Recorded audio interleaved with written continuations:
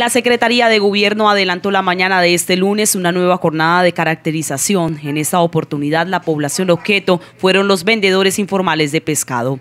La idea es poder identificar quienes llevan determinado tiempo con nosotros, quienes tienen estado de vulnerabilidad y además es para que cuando la administración realice la reubicación y podamos eh, estar todos organizados, pues tener toda la información base de ello. El objetivo de la iniciativa que emprende este despacho en el sector de la rampa es establecer cuántos de estos vendedores estacionarios ejercen la actividad comercial, invadiendo el espacio público para que sean prontamente reubicados. Ellos están muy curiosos, eh, están inquietos porque algunos ya llevan tiempo trabajando y no quieren que que salgan de estos lugares, lo que sí están es pidiendo que se mejoren las condiciones, entonces esa es la idea de la administración, verificar en qué estado se encuentran ellos para mejorarlos y poder hacer un trabajo de, de espacio público que sea favorable para toda la comunidad.